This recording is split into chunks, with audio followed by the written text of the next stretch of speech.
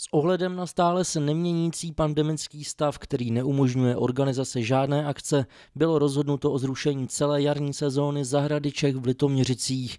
To znamená, že jarní prodejní výstava tržnice Zahrady Čech se v naplánovaném termínu 7. až 11. dubna neuskuteční. Neuskuteční se ani další akce, na které jsou návštěvníci zvyklí.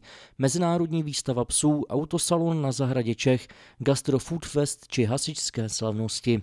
Chybět na výstavišti budou i akce malého charakteru, jako je pravidelná výprodejová akce Marvil, kontraktační výstava ESO Market či akce pořádaná policií České republiky určená jako prevence pro žáky základních škol.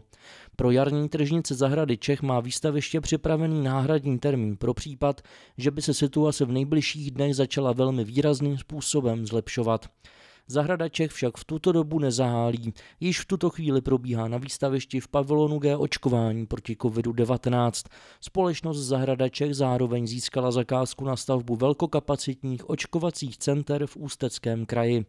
Ve čtvrtek 18. března navíc otevírá v pavilonu D testovací místo pro zvýšení kapacit testovacích míst na Litoměřicku.